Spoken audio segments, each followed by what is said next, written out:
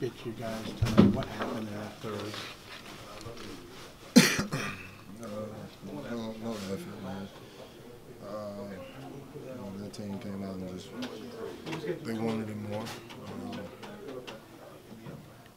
I feel like we just kind of went through the motions tonight as a team. Um, you know, they just wanted it more. Period. Was it an effort thing or?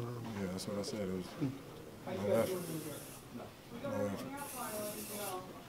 Defensively, I think this is like 11 games in a row. You guys giving up at least 100. Is that sort of what you're talking about with wanting more effort, things like that, or is it just something else? Just coming out and competing. Uh,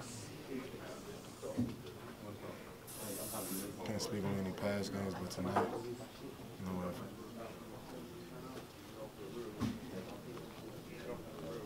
Um, Scott is not a guy that, when you think of the Wizards, you think of as, as a big threat, but he's been making a bunch of shots lately. What was it? Uh, what was the challenge dealing with him tonight?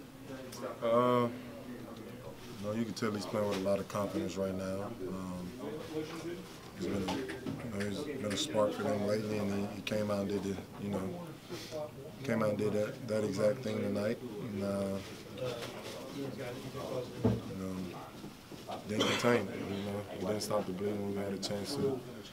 Uh, he had his way with us tonight.